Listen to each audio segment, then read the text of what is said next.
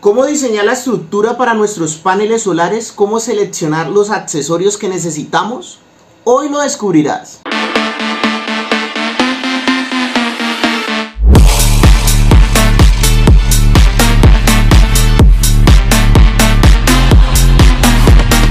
Bien, para hacer el dimensionamiento de la estructura y seleccionar los accesorios que vamos a necesitar para poder volver realidad la estructura de nuestros paneles solares, debemos determinar el tipo de cubrimiento en el cual se van a montar esos paneles. En este caso, pues lo más común es en un techo de aguas o techo de, de teja de ternido, teja termoacústica y demás.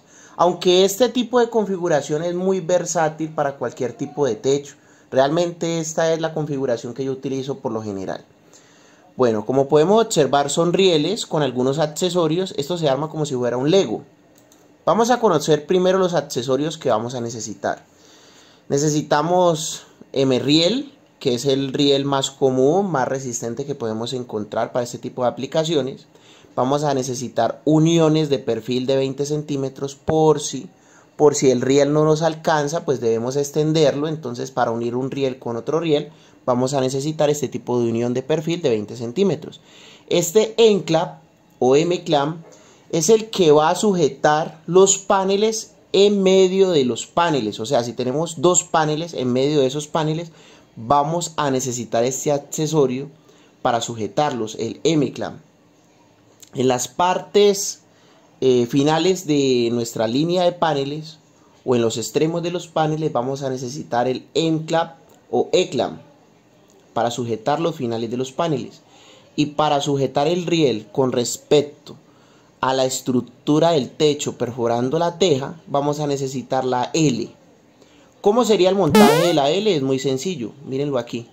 Este es el riel, al riel va sujetada la L y a la L va sujetada pues eh, el techo o la estructura del techo se perfora la teja. Bien, debemos conocer las dimensiones generales de nuestro panel solar. Las dimensiones más importantes son el ancho y el largo. En este caso tenemos el largo que es 2172 milímetros, el ancho que es 1303 milímetros y algo muy importante es el espesor de 35 milímetros porque con el espesor es que vamos a pedir los enclap y los eclam que son estos. Claro, estos tienen que seleccionarse dependiendo del espesor del panel. Hay paneles de 25 milímetros, de 35, de 40. Entonces, dependiendo del espesor del panel, vamos a seleccionar estos accesorios para poder sujetarlo de forma adecuada, apretarlo hacia el riel.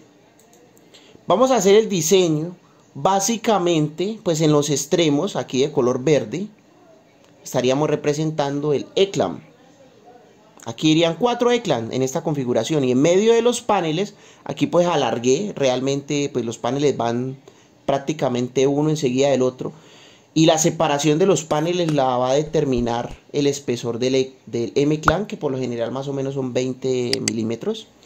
Entonces de color verde estamos representando los E-Clan que irían en los extremos. El riel lo estamos representando de rosado, irían dos rieles por panel, miren un riel en la parte de arriba, otro riel en la parte de abajo. Y en el centro irían los E-clam, los M-clam, perdón, los M-clam. Entonces aquí tenemos un diseño de 1, 2, 3, 4, 5 paneles. Entonces tendríamos 2, 4, 6, 8 M-clam. En sus extremos 1, 2, 3, 4 E-clam. Eh, tenemos el M-riel, que sería aquí un M-riel, otro M-riel. Y por acá en los M-riel para sujetar todo esto a la estructura del techo perforando la teja tendríamos que tener la L con su respectivo tornillo. Bien, vamos a hacer un ejemplo con medidas. Si tenemos paneles que cada panel mide un ancho de 1303, sumamos todos, ¿no? 1303 más 1303 más 1303 más 1303 más 1303 y tanto los M-Clan como los E-Clan, pues yo los determino para que ocupen un espacio de 30 milímetros. Entonces 30, 30, 30, 30, 30, 30. Sumamos todo esto y nos daría 6.7 metros en esta línea. En la otra línea de abajo pues es lo mismo, 6.7 metros. Bien, si nosotros tenemos una proyección y el espacio suficiente para colocar en un futuro más paneles, lo más recomendable es de una vez montar todo el riel que sobre riel, que sobre riel para acá. Por ejemplo, que esto, que esto fuera más largo.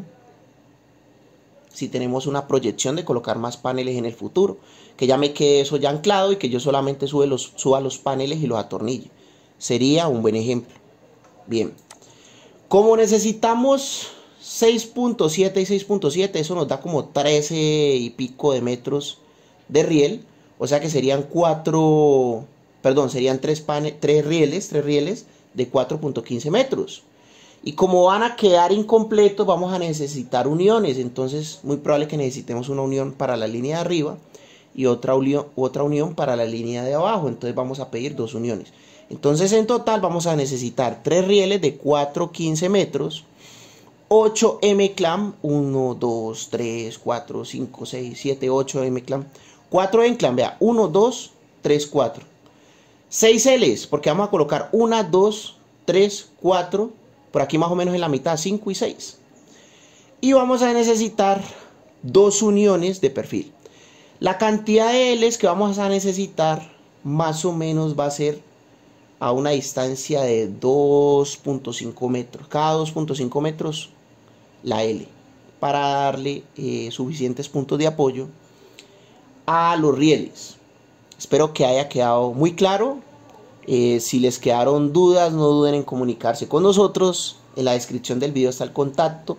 No olviden que pueden participar de nuestro curso en vivo online con beca del 80%. No olviden suscribirse, activar esa campanita que nos están llegando las notificaciones y seguir apoyando a la familia con la mejor energía de YouTube. Muchas gracias.